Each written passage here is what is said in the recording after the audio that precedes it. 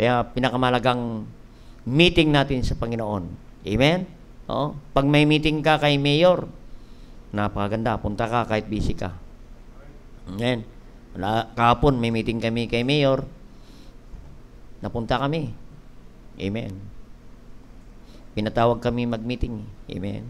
May meeting kami kahapon sa Office of the Internal Affairs, no? Biglang tumawag, 10 o'clock ang usapan. Punta kami. Amen. Namigay sila ng mga bigas at uh, doon natin muna binigay sa mga neighbors natin doon sa ating lote, no? Uh, tinawag natin ang mga neighbors doon sa lote para makilala tayo at makilala ang higit sa lahat ang Diyos natin na sinasamba. Amen. Kaya salamat, no? Nakakaiba anong mga ginagawa ng Diyos sa ating kapulisan. Amen. Dati yung ka, ka, natatakot kayo sa pulis. Oo. Baka kayo ay kuhuaan. Ngayon sila na nagbibigay. Amen. Praise God. Amen. What a blessing, you know. Nakita mo mga kapulisan natin yun, very generous. Amen. Ge- very generous, no. Kaya yun, salamat sa Panginoon.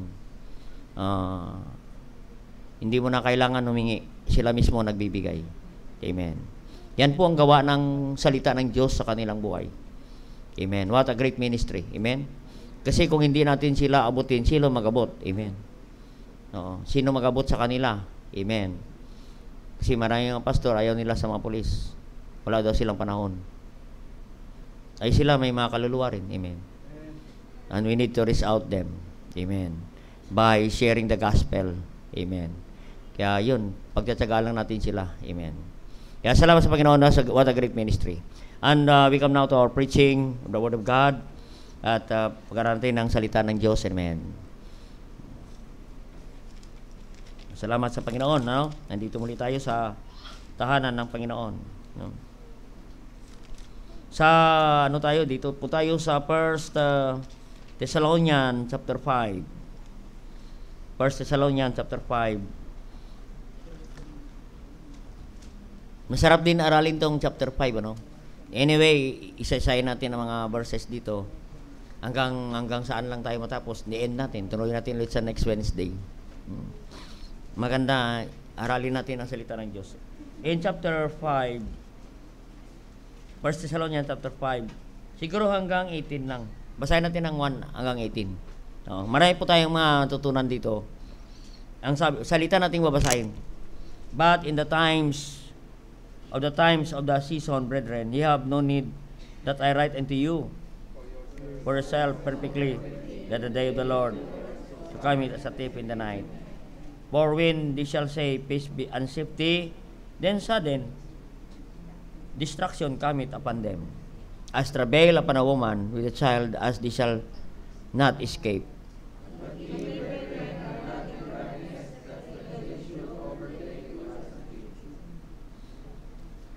Ye are all the children of light, and the children of the day. We are not of the night nor darkness.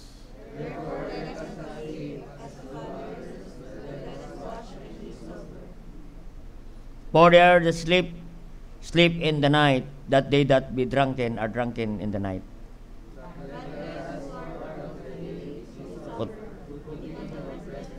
Love and helmet of hope and salvation.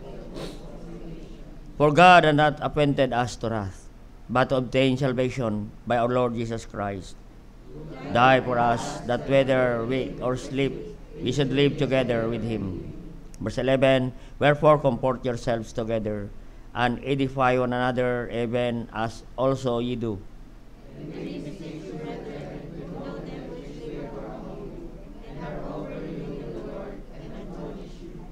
And to esteem them very highly in love, for their work's sake, and be peace um, at and be at peace among yourselves.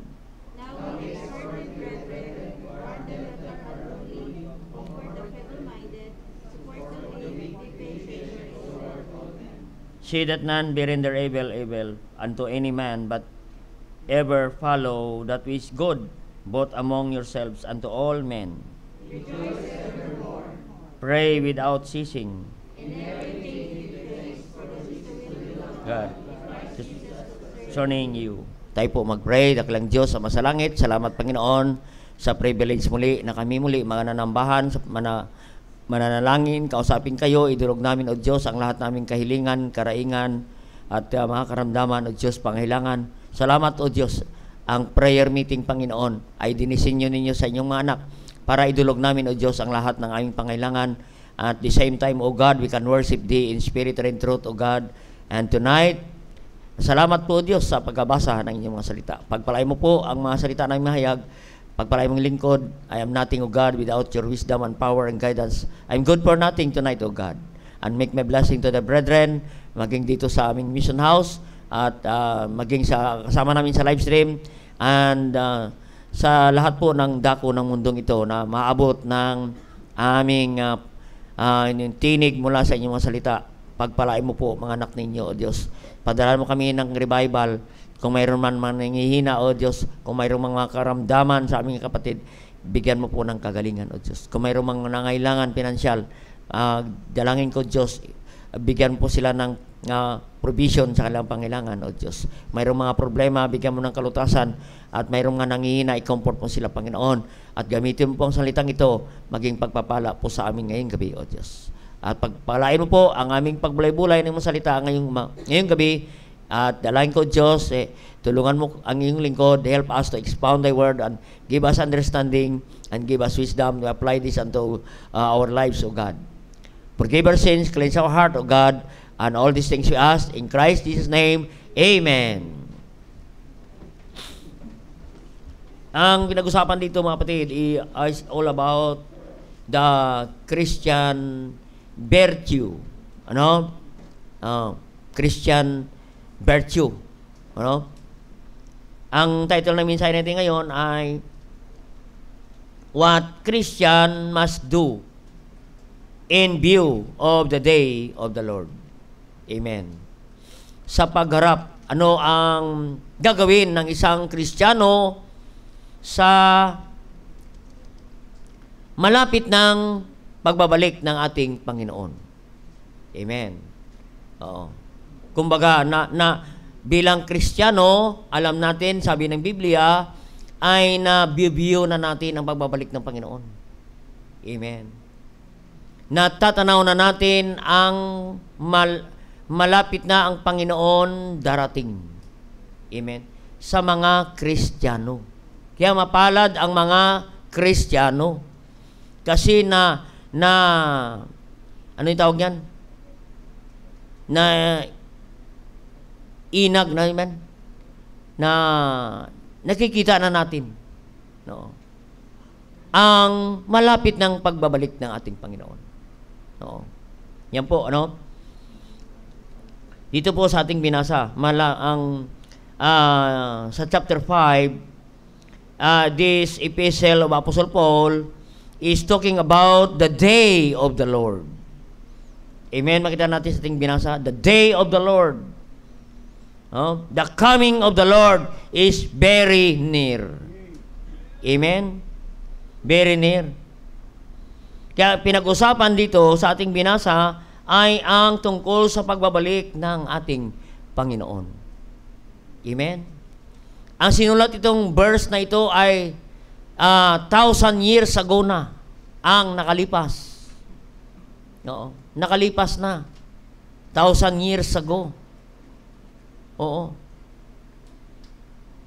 Alam naman natin, ang thousand years, ang thousand years is one day for the Lord. Kung baga, ang salita ng Diyos na ito ay sariwa pa. Kahapon lang. Amen. Bakit? Parang kahapon lang. Kasi ang isang araw sa Diyos ay isang libong taon na sa atin. No? Kaya yun mga kapatid, kaya nga ang salita ng Diyos ay laging sariwa. Hindi obsolete ang salita ng Diyos. Hindi kumukupas ang salita ng Diyos. Lagi yan fresh, mga kapatid. Laging fresh. Itong mga verses nating binabasa, lagi natin yan bina-Bible reading, lagi natin binabasa yan, pray without ceasing, ano yan, yung rejoice evermore. Oo. Lagi natin na-memorize yan. Amen. At madali lang i-memorize. Amen?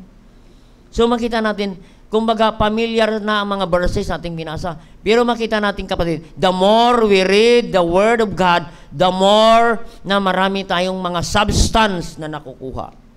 Amen?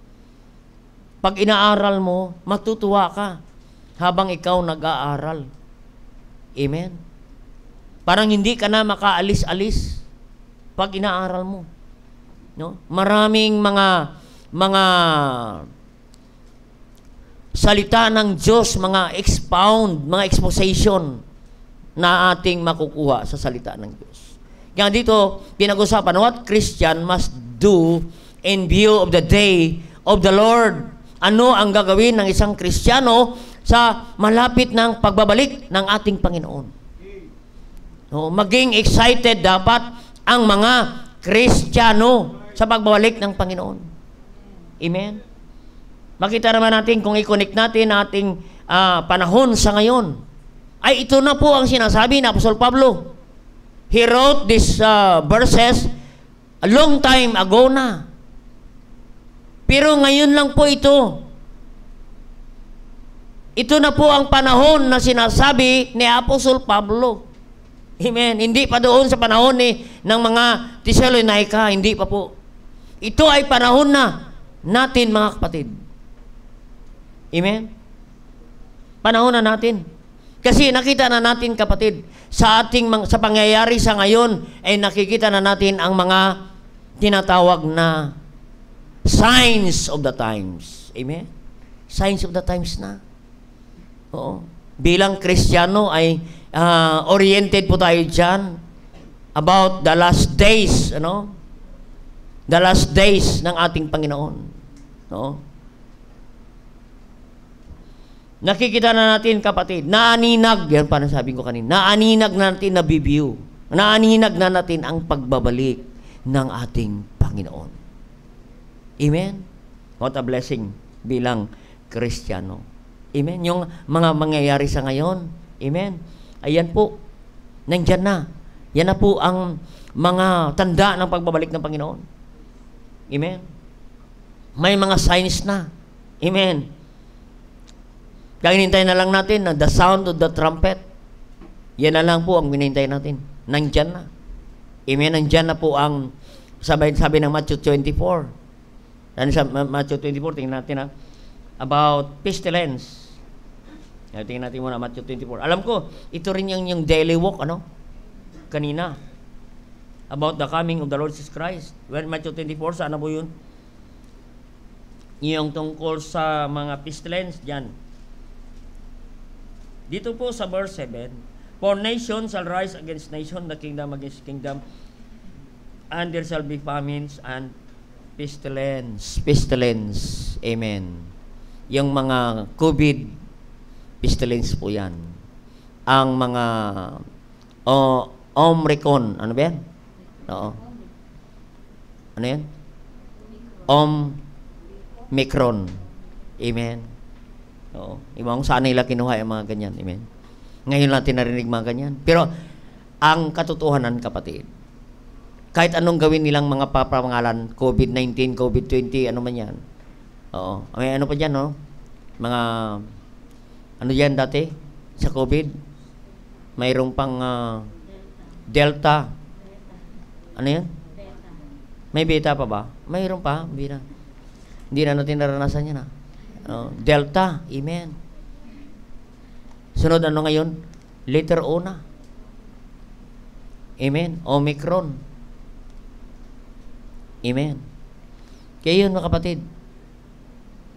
Pestilence lang pangalan yan sa Biblia. Amen. Sa Tagalog, peste. A disease, a kind of disease without cure. Amen. Kahit anong vaccine, walang cure. Amen. The more vaccine, the more incurable. Amen. Pestilence kasi. Yan po ang nangyayari na sa ngayon. Nandito na po, kaya nga, view na natin ang the day of the Lord. Amen. Nandyan na yan sa Biblia. Thousand years ago na yan, sinulat ni Matthew. Thousand years ago na yan, sinulat ni Pablo. No? Ang sabi niya, Thessalonians chapter 5, no? ay makita natin. No, dito po sa ating binasa. This is the first epistle of Apostle Paul to the Thessalonian. No? Kasi may first and second pa. Amen. Kaya di, ito po ang first epistle, ito po yung last, parang conclusion niya. Uh, last, no? Yan po, no? The first epistle of, to the church of Thessalonian, no? Dito po sa last chapter na ito na ating binasa. Ano? Apostle Paul gave emphasis about the characteristic of Christian in view of the day of the Lord. Anong klasing Kristiyano tayo sa pagbabalik ng Panginoon? Amen. What kind of Christian we are in the day of the Lord? Amen. How we live in this present world today. Paano tayo mamumuhay bilang Kristiyano sa pagbabalik ng ating Panginoon? Kaya dito po, makita natin, ano, binabaybay ni Apostol Pablo. Oo. Kasi sa panahon ng pagbabalik ng ating Pangino, Panginoon, ang mga tao ay walang pakialam sa pagbabalik ng Panginoon. Amen. Sila ay abala sa mga bagay sa sanlibutan. Amen. The people's mind today is all about material things. Amen. Material things. Oh. Rather than spiritual things. Amen. Ang nasa isip natin ay laging material, laging pera.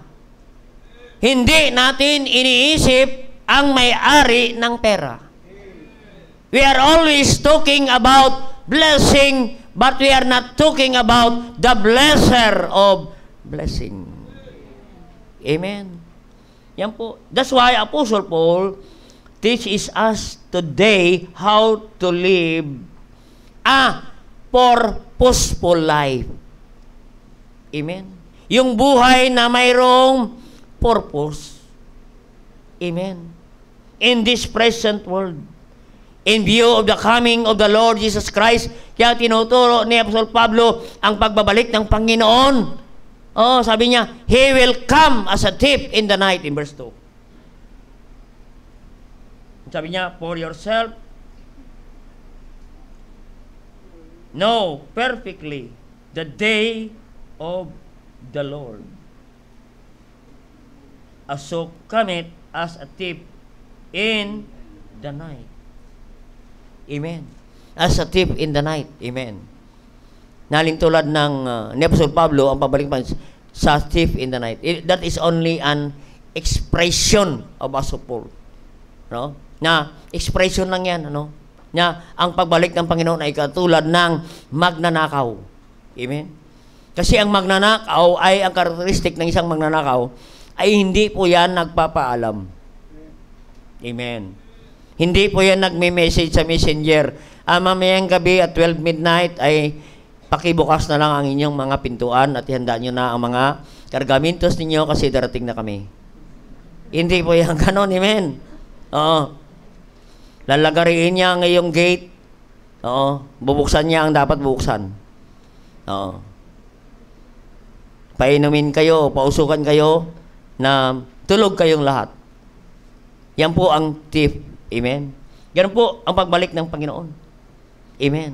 As a tip in the night, ibig sabihin, biglaan at hindi mo inaasahan. Amen.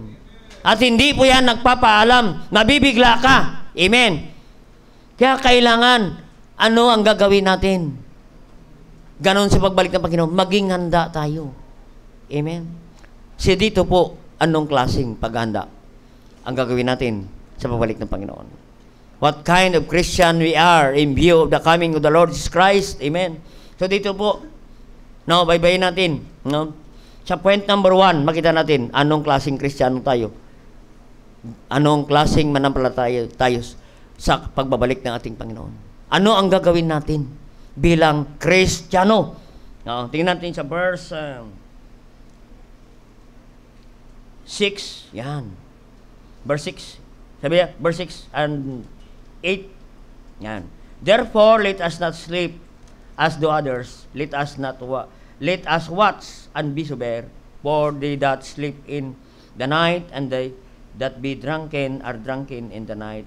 And let us who are of the day be sober, putting on the breastplate of faith and love, and of helmet of hope, of salvation. Amen. Let, let us uh, notice in verse 6. Verse 6. No?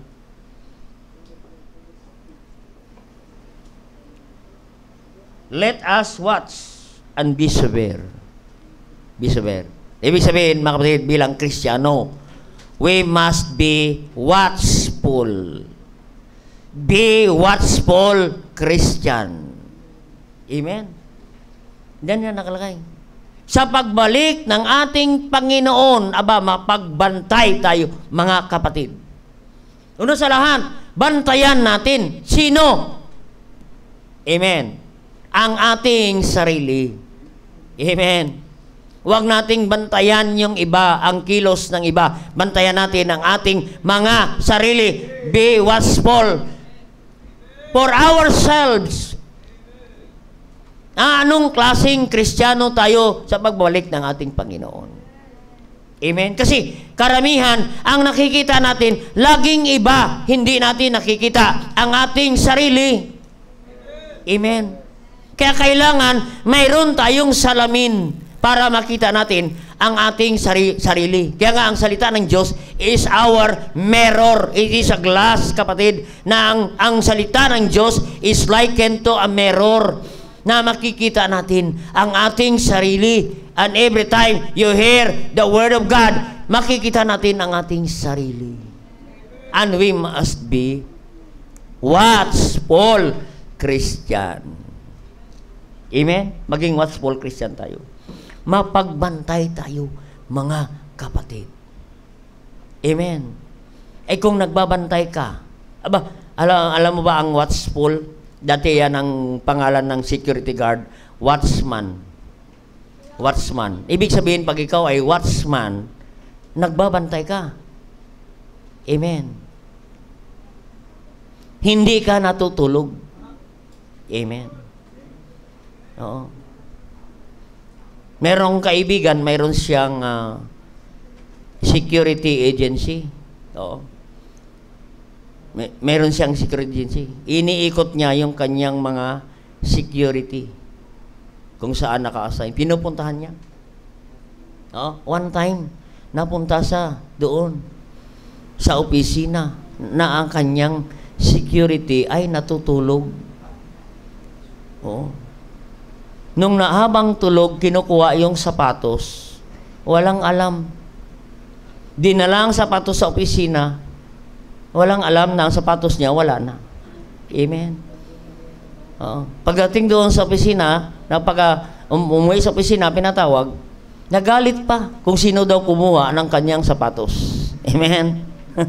wala siyang alam. Bakit? Natutulog siya. Hindi niya ginagampanan ang kanyang trabaho bilang watchman. Bilang Kristiyano, be a watchman, mapagbantay tayo kapatid. Amen. Yan ang sabi ng Biblia. eh. Yan sabi ni Pablo. Sa pagbabalik ng Panginoon, ba, mapagbantay ka. Amen. Ang sabi rito, let us not sleep as do others. Huwag kayong gaya-gaya. Pag natulog ang iba, tulog ka rin. Sabi ng Biblia. Ay sabi na, pag natulog sila, hayaan mo sila matutulog. Pero tayo, maging mapagbantay. Hayaan natin ang mga hindi kristyano na tulog. Dapat tayo mapagbantay bilang kristyano. Kasi malapit ang Panginoon darating. Amen. Pasos, tapos tulog-tulog tayo. Amen. Kaya nga sabi niya, let us not sleep as do others sleep. Ibig sabihin ng sleep, ni Apostol Pablo, huwag tayong papayag bilang Kristiyano. Be watchful. Huwag tayong, huwag nating payagan ang ating sarili na wala tayong ginagawa para sa Panginoon. Amen. Lumilipas ang oras na wala tayong nakumple sa Panginoon. Dapat huwag tayong papayag. Amen? Huwag nating hayaan na ma- malipas ang panahon, mga oras, na wala tayo man lang nagagawa sa Panginoon. Natapos ang isang linggo, natapos ang isang araw, wala ka man lang ginagawa para sa Panginoon. Natapos ang isang buwan, natapos na ang 2021, wala pa rin hanggang hanggang 22. Wala pa rin. Tulog-tulog pa rin tayo, kapatid. Amen. Yan pong nais ni Pablo. Hmm. Na bawat Kristiyano ay mayroon dapat tayong ginagawa. Amen. Mm. Okay yan, tayo nagsisimba. Pero hindi hindi lang sapat na tayo nagsisimba. Pagsimba, wala pa tayong ginagawa kasi ang pagsisimba ay pakinabang sa atin yan. Lagi pa, pagkain natin to eh. Kumakain tayo lagi ng salita ng Diyos. Amen. Ay saan natin gamitin ang pagkain na yan na marami tayong kinakain. Saan natin gagamitin yan? Amen. Matulog, aba. Baka maimpatso tayo at uh, ano tawag yan? Hindi ka na makagising. Amen. Mabangungot tayo dahil sobrang kain. Oo. Katulad na nangyari sa rin kami kanina, nasobrahan kami ng kain. Amen. Oo. Salamat po sa sponsor pala. Amen. Kaya mga kapatid, ganun din sa pagbalik ng ating Panginoon. Oo. Hindi lang dapat ah, ikaw ay church goer lang. Amen. Nagsisimba ka lang at uuwi, tapos na. Hindi lang dapat ganun, kapatid. Oo. Maging mapagbantay tayo. Amen. Be, be sabi rito, madatnan tayo ng, be watchful, madatnan tayo ng Diyos na sa kanyang pagbabalik, aba, mayroon kang ginagawa. Amen. Aba, mas maganda, no? Nadatnan ka ng Panginoon, nagsishare ka ng salita ng Diyos, napik, nakipag-agawan ka pa sa Diablo, no? Oo. At malapit ng tatanggap ang tao at saka matutunog ang trompeta. Na-snatch mo pang isang kaluluwa papunta sa langit na dapat siya ay sa, sa pintuan na ng impyerno. Nahila mo pa at nanalangin tumanggap sa Panginoon. Amen. Kaya we need to snatch the lost souls today. Amen. Maging watchful po tayo, maging magbantay tayo. Sino ba? Maging sensitive tayo. Sino ba ang hindi paligtas sa ating pamilya? Aba, kapatid, kikilos na tayo. Baka madatnan tayo sa balik ng Panginoon. Naku, sayang to si kapatid ko, tatay ko, nanay ko, kapitbahay ko, hindi ko malang naisira ng salita ng Diyos. Amen. Kaya mapaghalaga. Yeah, let us not sleep. Amen. Hindi naman bawal na huwag kang matulog. Ang natutulog lang ay yung mga taong gumagawa. Ang tulog ay hindi yan trabaho. Amen. Meron talagang mga tao na siniswelduhan dahil matulog lang. Meron ganyan, amen. Hmm. Mapalad yung mga taong ganyan, ano? Sinisweldohan matulog. Pero mga kapatid, natutulog tayo kasi tayo nagtatrabaho. Kasi kailangan mo ng pahinga. Para, ano? Para magtrabaho ulit. Amen. Kaya nga sabi niya, be sober. Mapagbantay tayo. Amen. Sabi ng verse 7, huwag tayo maging katulad ng mga lasing. Amen. Ano ba yung lasing? Pasuroy-suroy, walang ginagawa. Amen. Ang mga lasing ganyan, amen. Drunken and drunken in the night. Amen. Kasi pag ang taong lasing, maglalasing, pag umaga yan, matutulog pa ulit yan. Amen. Matutulog pa ulit. Oo. At pagkatapos niyan, ma, ma, mananalasing na yan, iinom pa ulit yan pagising. Kasi eh, susundutin niya uh, ang kanyang mga ininom. May pangsundot pa sa dyan. Para sumigla ulit. Ganon. Kaya dapat hindi tayo maging palasing-lasing na Kristiyano. Ay dapat mga kapatid, ang mga Kristiyano ay hindi na dapat nagiinom ng alak. Amen. Oo. Iba na dapat ang inumin. Amen. Oo. Pang sagip buhay lang ang inumin natin. Amen. Oo. Ganon. Kasi wala tayong makomplete sa Panginoon kung tayo ay palasing-lasing. Amen. Oo. Ibig sabihin ng drunken, eh, wala tayo sa katinuan. Alam naman natin ang taong lasing, wala sa katinuan yan. Amen. Yung mga, yung mga tao na hindi nagsasalita, pag nakainom, magsasalita na. Yung mga taong hindi nag english nako po, hindi mo na ma, bleed ka na sa kanya. Amen. yung mga hindi umaawit, nako po, sasakit ang tainga mo. Amen. oh. Nung kami ay doon sa Kamyas, ang aming shop, katapat niya nightclub. Pambihira. Pag nag-awit sila pambihira, lasing na. Sumasakit ang tenga namin sa pakinig. Hmm. Kaya yung mga tao namin doon. Bika, bok, alika nga. Bigyan kita ng 20 pesos, ha? Yung tao dyan kumakanta, sabi, ibigay mo sa kanya. At sabihin mo, yan ay pamasahe mo, umuwi ka na. Ay, wag, bakit hindi ko kaya yun ah? Ibigay mo 20 pesos, pamasaya pa uwi. Shit, sumasakit tayo nga natin eh. Amen. Ganon. Akala niya, magaling na siya na singer. Amen. Ganon. Amen. Kaya mga kapatid, ganon. Be sober. Mapagbantay tayo. Huwag tayo katulad ng mga lasing, suroy-suroy lang. Walang ginagawa. Dapat maging matino, maayos. Ibig sabihin ng, ng salita ng Diyos dyan, be not drunken in the night, ay dapat tayo ay maging maayos na Kristiyano. Amen? Yung Kristiyano ka, pero pariwara kang Kristiyano. Amen? Oo. Hindi, parang ang, ang uh, buhay mo ay parang hindi Kristiyano. Ang mukha mo ay parang hindi Kristiyano. Makita naman natin ang taong lasing. Kahit anong disinting tao, basta nalasing na po po. Kahit congressman yan, kapatid. Oo. Meron nga sa amin, congressman, pag nakainom, naku po, doon sa gitna ng plaza umihi. Congressman. Amen. Nakakalungkot naman ganyan. Kasi wala na sa katinuan.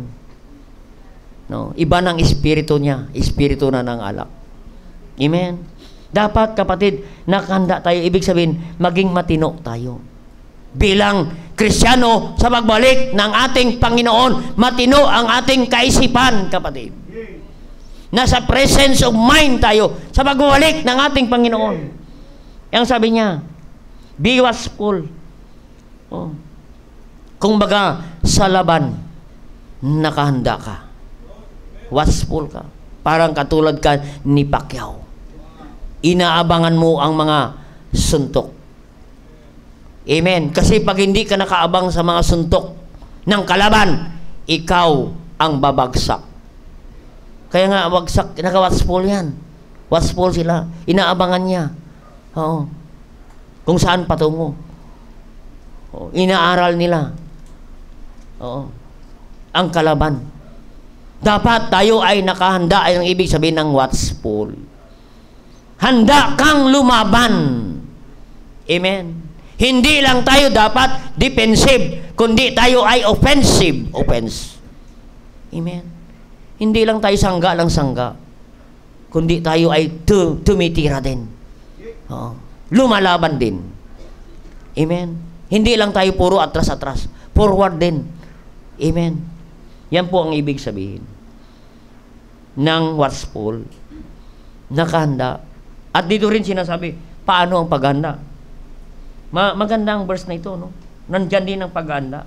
Paano ang paghanda dito sa verse 8? Let us who are the day of the day be sober, Put on the breastplate. Amen. Putting on the breastplate of faith. Amen. Isuot mo yun, yung breastplate. Alam natin yan, ang breastplate nung araw. Kumbaga sa ngayon ay yan ay tinatawag ng sa mga pulis natin na bullet proof. May bullet proof ka. Kahit tratratin ka, hindi matamaan ang yung dibdib. Kasi dito sa dibdib, pag natamaan ka, dito po ang mga vital parts. Matamaan yung heart mo, matamaan yung lungs mo, liver. Tapos na ang tao. Kaya naglalagay sila ng breastplate. Ano, bulletproof sa mga kapulisan. Yan po. Nakasuot yan sila. Mga SWAT, nakasuot yan sila. May breastplate yan sila. Oh. For what? No. Nilalagay dito sa dibdib. To protect the body especially the heart. Amen. Nandyan yan. Kaya nga tawag, breastplate. Kasi nandito sa breast, malapit ang puso. Sabi niya, breastplate of faith. Amen. Pag natamaan, ang dibdib natin, manghihina ang ating pananampalataya. That's why, sabi ni Paul, putting on the breastplate of faith. Amen. Oh the breastplate of faith to protect our heart, to protect our emotion, to protect our feelings. Amen. Amen. Kasi ang mga emotion and feelings, pwede po tayo dayain ng mga ito. Amen. Because the heart is very deceitful above all things. Dayain ka ng iyong emotion. Na hindi naman totoo, pero sinasabi, yan. Oo. May nagsasabi, inuutosan ka ng puso. Amen, hindi dapat manaig ang puso. Dapat be sober mind. Sober-minded. Amen. Huwag pa tayo mapatalo sa, sa dito sa ating puso. Dapat be sober sa isipan. Kaya nga ang ulo nasa taas, ang puso nasa baba. Kasi kailangan ang maniobra dapat hindi puso, kundi ang maniobra dapat ang ating kaisipan. Kasi dito po uh, sa kaisipan, then dito po ang desisyon. Amen. Kaya yun mga kapatid, be putting on the breastplate. Oo.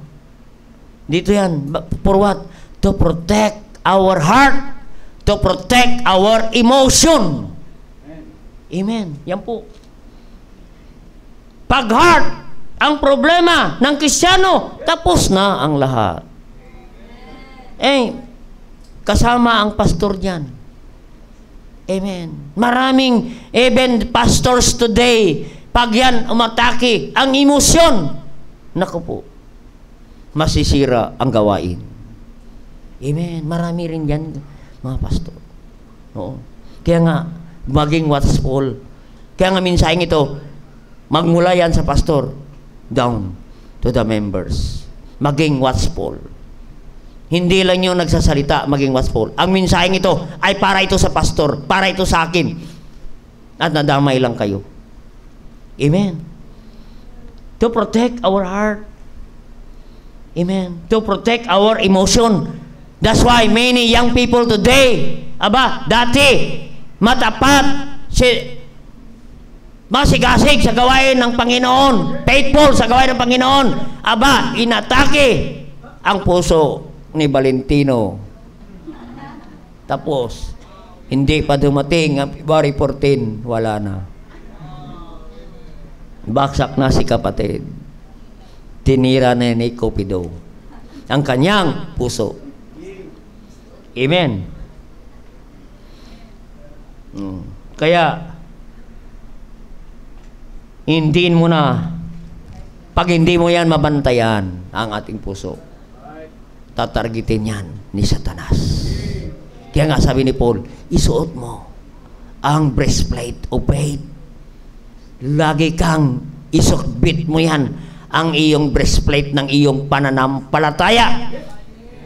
Oh, ilagay mo lagi sa iyong puso at isipan na ikaw ay isang mananampalataya. Ilagay mo sa isip mo na ikaw ay isang Kristiyano, Baptist. Pananampalataya. Baka, ma- wag, baka makalimutan mo na ikaw pala ay Kristiyano Baptista po po. Bibigay tayo kapatid. Kaya nga, sabi ng 1 Peter 5.8, Be sober, be vigilant, because the devil as a roaring lion seeking home, hindi devour. Huwag tayong papayag na ang Diablo, i-devour po tayo. Bakit maraming Krisyano na devour? Hindi sila watchful. Kaya nga sabi niya, be busy, be sober, be vigilant. Ano yung word na vigilant? Be watchful, meaning, meaning niyan ng vigilant. Be watchful, mapagbantay ka. Because your adversary, the devil, may kaaway tayo. Ano ang kaaway natin bilang Kristiyano? Hindi po yung katabi mo, hindi ang kapatid, kapatiran natin. Our adversary is the devil. Oo. As a roaring lion. Ano pa? Walk it about, seeking home, hindi devour. Iniikutan-ikutan ka, ay hindi ka nakasuot ng breastplate. Titirahin ka. Emotionally, nako po. Yan. Oh. Nawala ka ng breastplate. O faith. And, ano pa? Love. Saan na tayo? Verse 8, love. Breastplate of faith and love. Amen. Kailangan ang love. Mauna muna ang agape love. Bago eros love. Kasi pag inuna natin ang love na makataong pag-ibig, dapat ang pag-ibig natin ay mula sa Diyos. For the love of God constraineth us. Amen.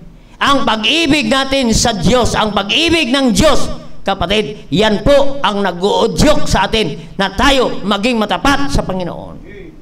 Amen. Oh. Kasi ang love natin dapat pagmamahal natin una sa Diyos. Dapat ang first love natin walang iba kundi Diyos.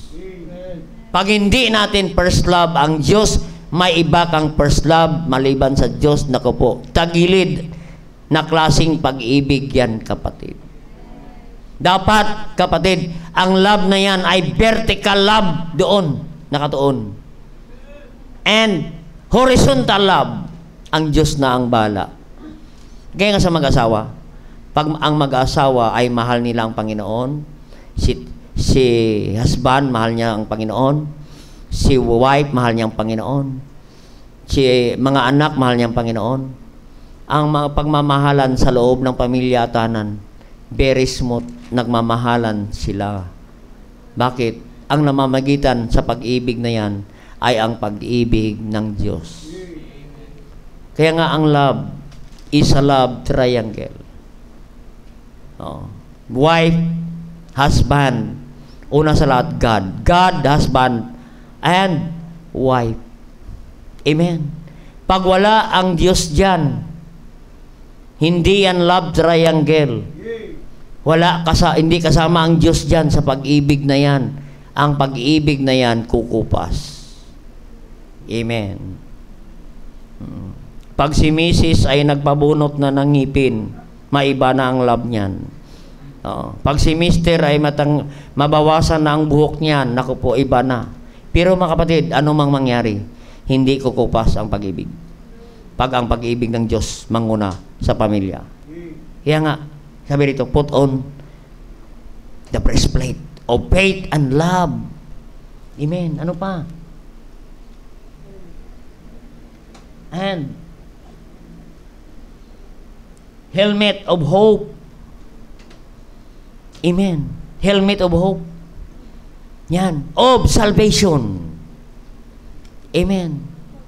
Kasi si Satanas kapatid, gusto kanyan i-discourage. Gusto niya alisin sa iyo lagi ang pag-asa. Yan, wala ka ng pag-asa. Huwag ka nang balik-balik dyan sa CBBC. Walang mangyari sa iyo dyan. Wala ka ng pag-asa dyan. Oo. Ganon. Kaya kapatid, kaya nga sabi niya, for an helmet of hope. Amen. Helmet. Saan ba nilagay ang helmet? Dito sa ulo. To protect our mind, kapatid. Kasi si Satanas, pag hindi ka naka-helmet, bubulungan niya ang tenga mo. Yan ang mapapala mo. Sa kakasimba mo. Yan. Eh kung sa trabaho ka, kundi marami ka pang pera, ay dyan ka, lagi nakatanghod sa CBBC. Yan. Ipa, ma-discourage ka. Ay kung naka-helmet ka, hindi mo naririnig ang bulong ni Satanas. Sarado ang tenga mo. Mayroon pang helmet, sarado pang mata. Wala na. Wala nang makapasok si Satanas. Amen. Hope of salvation. I-discourage niya tayong mga ligtas. I-discourage niya tayo ni Satanas. The tool, the best tool of Satan to Christian is the toll of discouragement. Yan po. Kaya laging isuot ang helmet para hindi ka mahuli ng enforcer. Kasi mahirap makiusap sa enforcer. Kung yan ay walang bayad, may bawas, mahirap. Amen. Pwede pa ba bawasan yan? Amen. Kailangan na ang helmet nasa ulo nakalagay Huwag sa kamay. Sinakita ko ng motor, naka sa kamay ang helmet. Hindi tama ang pagsuot. Ang helmet talaga dyan ay nakalagay dyan sa ulo. To protect our brain, to protect our mind. Kaya mga kapatid.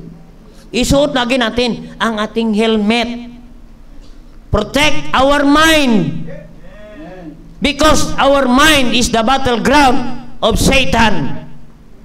Amen. Oo. Kaya nga, be watchful. Maging mapagbantay tayo sa mga cellphone natin. Mapagbantay tayo dyan. Baka mamaya mapindot natin ang mga hindi naman dapat pindutin dyan.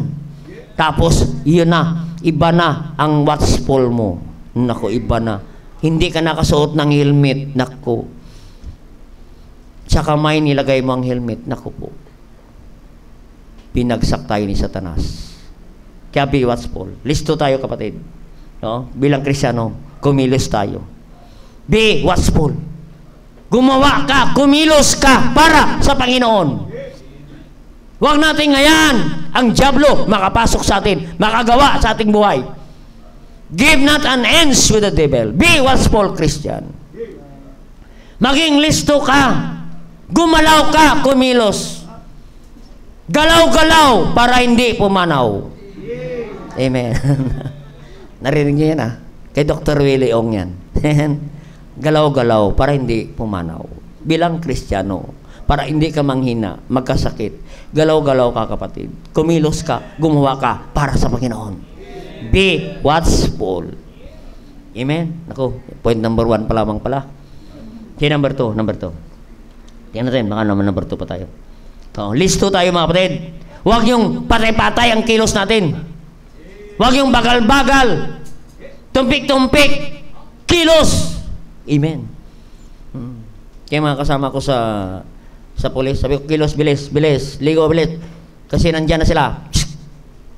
Kisa pag-ministry sa mga pulis, kailangan mabilis ka, listo ka. Oo.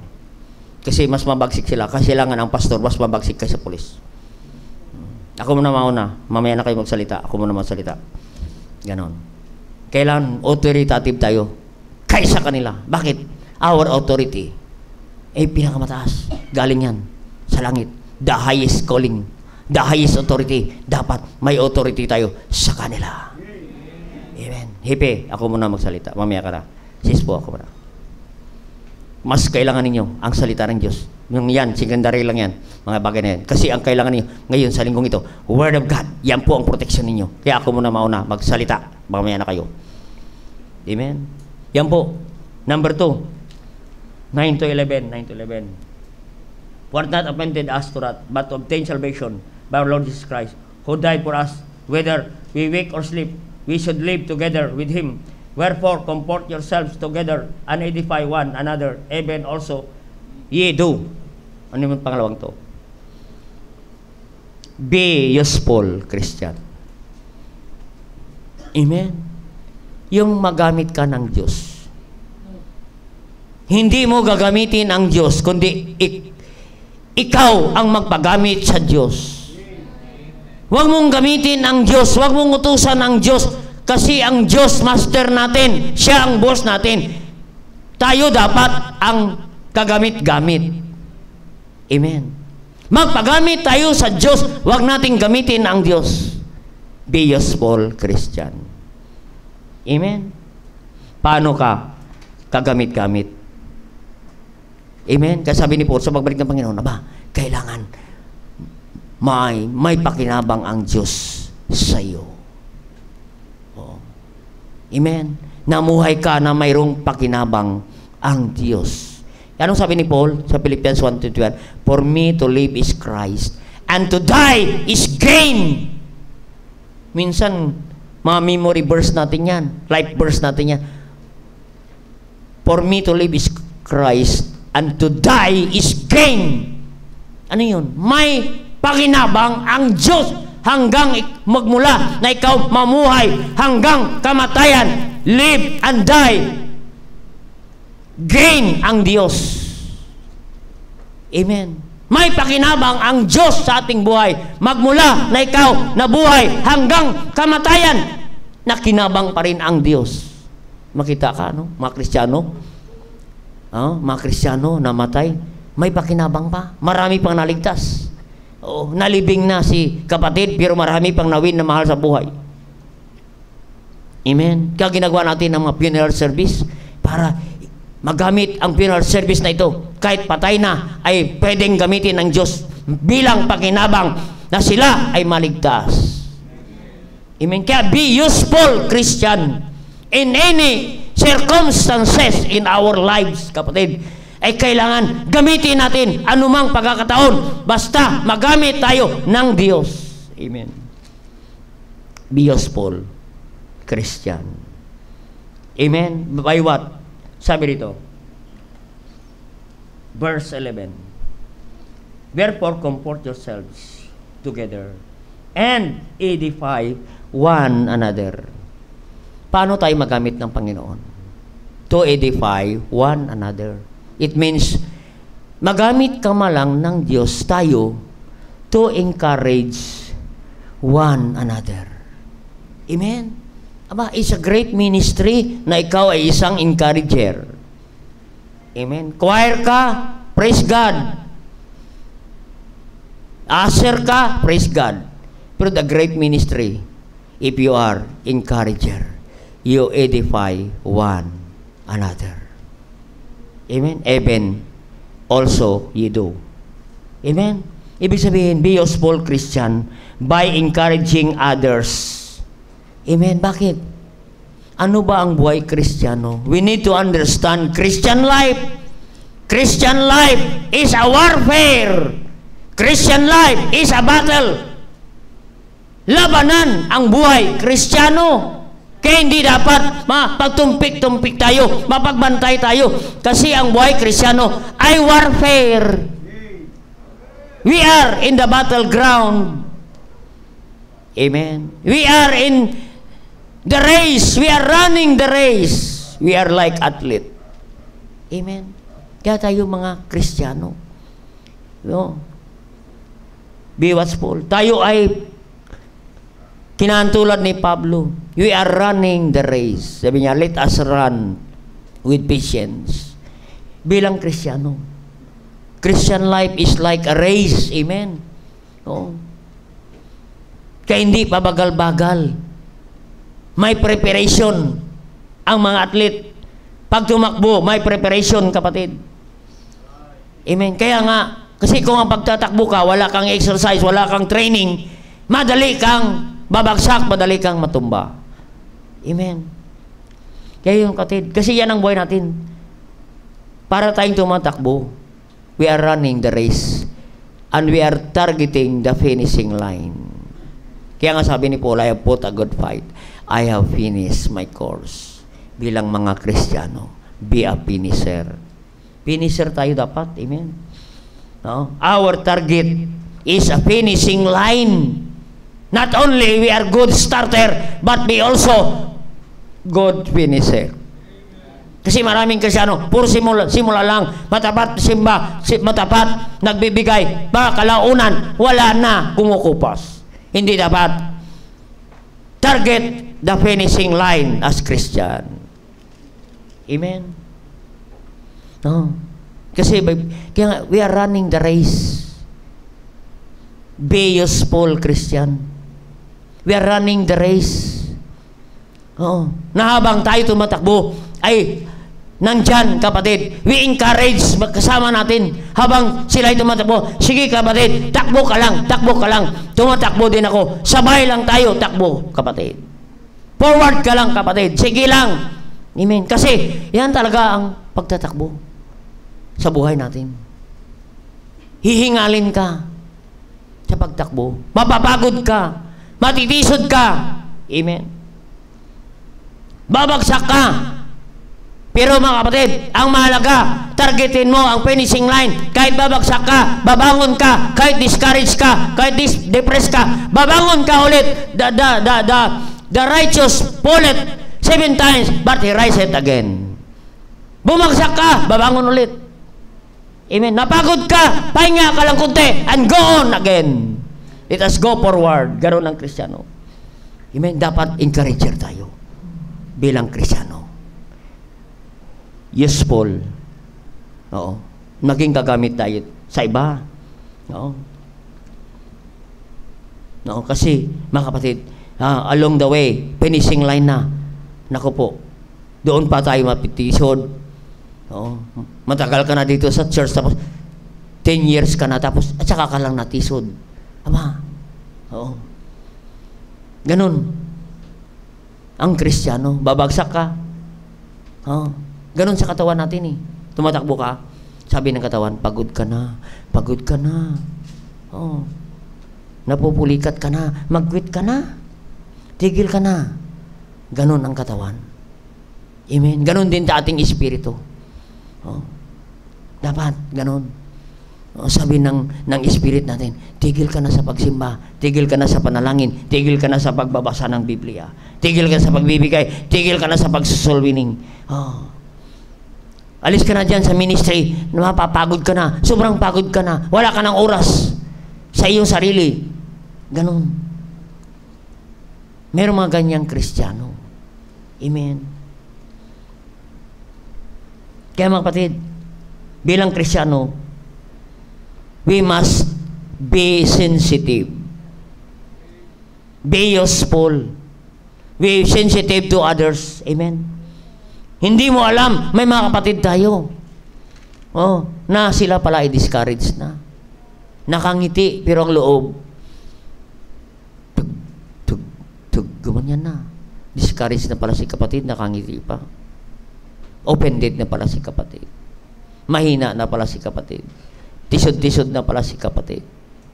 Eh kung nandiyan ka, gagamitin ka ng Diyos to encourage, edify one another. Kaya nga sabi ni Paul, encourage them.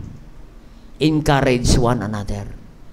Amen. Be encourager to others. Be useful. Pwede kang magamit ng Diyos bilang encourager na mga kapatiran na na-depress, nangina, discouraged, disappointed na, nag-quit na, nag-backslide na, lumayo na sa Panginoon, nangina. Encourage mo, kapatid. Hmm? Biro mo yan, kapatid. Maging encourager ka. Oo. Maganap ka na ikaw magamit ng Diyos. Maganap ka ng kapatid na discourage. Puntahan mo. Bisitahin mo. Maganap ka ng mga kapatiran na may sakit. Naku po. Oo. Depressed Bisitahin mo yan, ipag-pray mo, kausapin mo, i-fellowship mo. Magdala ka ng pagkain o anuman. Naka-encourage sa kanya, kapatid. At sabi niya, ah, masalamat kapatid. Sa dami-dami nating kapatid sa Imos, ikaw lang nakarating dito at naalala mo ako kapatid. Nang hina na si kapatid, na-encourage muli, nakita ka lang. Amen. Huwag naman ikaw pag nakita ka, na-discourage. Nakakalungkot yung ganon. No. Na-allergic ang mga tao sa iyo. Dapat encourager tayo, kapatid. Mukha pa lang naka-encourage na. Amen. Mm. May mukha talaga na ma-discourage ka. uh, wala tayong magagawa dyan. Uh. Kaya encourager tayo. By supporting. By ano? Not only needs, financial needs, by supporting Words of encouragement. Sige lang kapatid, magtiwala ka lang sa Panginoon. Kumapit ka lang sa Panginoon kapatid. Tiwala ka lang. Malaking bagay na yan sa kanila. Amen. Oo. Man, mag-encourage tayo sa kanila. Words and action. Hindi lang salita, kundi talagang nandoon yung magamit ka, mag-encourage ka, may action. Amen. Action is speak louder than words. Amen. Kahit hindi ka nagsasalita, kung tumutulong ka. Amen. Oo. Maganda rin yan. No? Pag may mga namatayan, maganda rin. Condolence, sympathy, and prayers. Maganda yan, encouraging word. Pero mas maganda kung nag-support ka pa. Ay kapatid, ito ang tulong namin. Oo. Sa mga kailangan ninyo, konting bagay lang po ito. Malaking bagay na sa kanila yan. Naalala ka. Amen. Not only in words, but also in material and financial need support. Support our brethren sa nangangailangan ng, ng kalungkutan. Nandyan tayo, kapatid, sa karamdaman. Oo. Nandyan tayo. Panalangin natin. What a blessing to be useful to God. Amen. Yes, salamat sa Panginoon. Sisunod na lang natin ang iba pa. Amen. Ang una nating puntos ngayon, be watchful and be useful Christian. Next Wednesday na lamang ulit. No, sunod-sunod rin natin 'yan. Basahin niyo 'yan ulit. Maki, marami na kayong ma- makikita diyan. Oo. Na mga mensahe habang binabaybay ninyo 'yan. Oo. So, dyan lang muna tayo. Sa 9 to 11, be watchful. 12 to 13, be useful Christian. Maganda, magamit ka ng Diyos sa maliit na bagay. Malaking bagay yan. Amen? Sa mga kapatiran.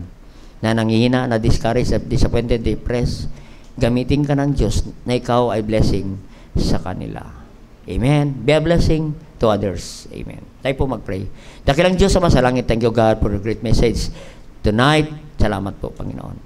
And we are praying na ikaw po magpapala sa amin sa inyong mga salita. O Diyos, uh, what Christian must do in view of the, the day of the Lord. Ano ang gagawin namin? Malapit na yung pagbabalik.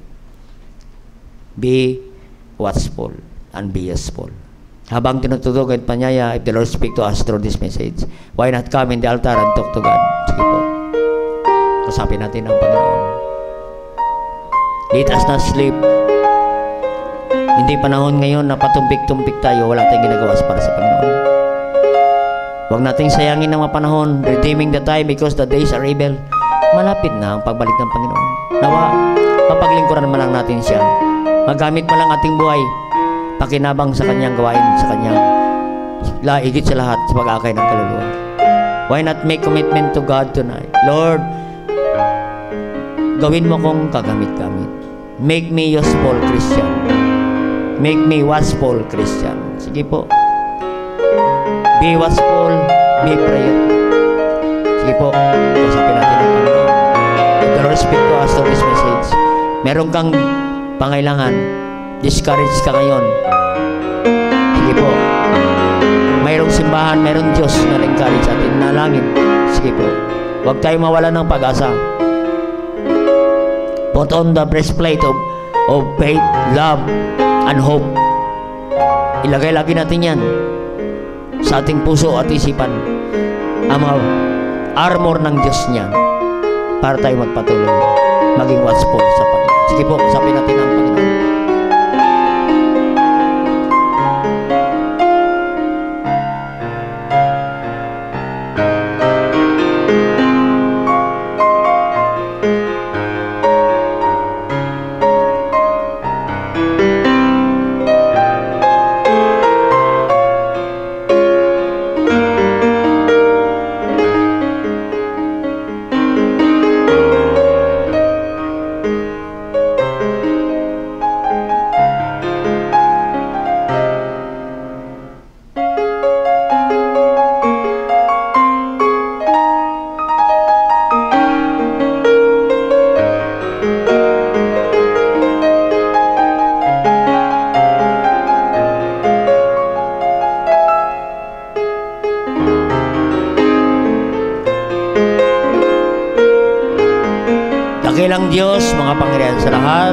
God, for your great message tonight. Thank you for the brethren who come to you with humble hearts. Thank you, Holy Spirit, for the power bestowed upon the servant. Thank you for the wisdom and guidance, Holy Spirit of God. I bring back all the glory and honor to the name of God. Sa mga kapatiran na mayroong karamdaman ngayon, pagkalingin mo, Panginoon. May mga problema, bigyan mo ng solusyon, no Diyos. Ang dalangin ko, Panginoon, mga nangailangan, ikaw po mag-provide ng pangailangan. Salamat po, Diyos, sa mga salita. Na malapit na yung pagbabalik. Tulungan mo po kami, Diyos, na kami mapagbantay at maging kagamit-gamit sa inyong gawain, Panginoon. Nawa madatnan kami, O Diyos, na kami gumagawa para sa gawain ninyo, Panginoon. Salamat po sa anak niyo lumuluhod. Alam niyo po, batid niyo po ang kanilang puso. Tulungan po sila, Panginoon, sa kanilang mga commitment, Panginoon. Whatever commitment na nakakinangin dilog sa inyo, pagparay po sila, Panginoon. Maraming salamat muli, Diyos. Tulungan po sila, Panginoon. Nabalik ko po ang lahat ng pasalamat papuri. Ang lahat ito aming dalangin sa pangalan ni Jesus. Amen. Alright, sa lahat po, I hope you learned something tonight. Amen. Alright, we come now to our worship service. Through our giving, tawagin na po natin ang ating usher. Amen. Be faithful in our giving. Amen.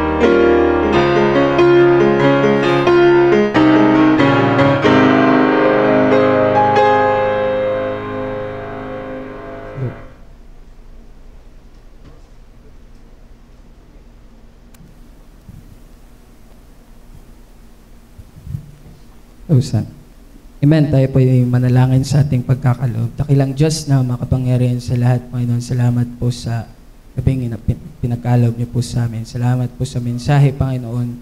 Ah, patuloy nagpapaalala po sa amin, Panginoon. Salamat po sa mensahe na we need to be watchful Christian and useful Christian, Panginoon, sa inyong gawain, Panginoon. Salamat po sa mensahe rin yung ginamit. Pagbalayin niyo po siya. Dalangin po namin, Panginoon, ngayong gabi sa aming pagkakaloob. Kayo po ang mag-bless po nito, magamit pa po sa ikilalago ng inyong bahay, sambahan, at sa ikabot pa ng mga tao, Panginoon, na hindi pa po nakakilala sa inyo. Dalahin rin po, Panginoon, ang mga magbibigay, kayo po magbalik ng pagpapala po sa kanila, Panginoon. And uh, anumang kasalanan nakita niyo po sa amin, patawarin niyo po kami. Ito po ang aming dalangin sa pangalan ni Jesus. Amen. God bless us again.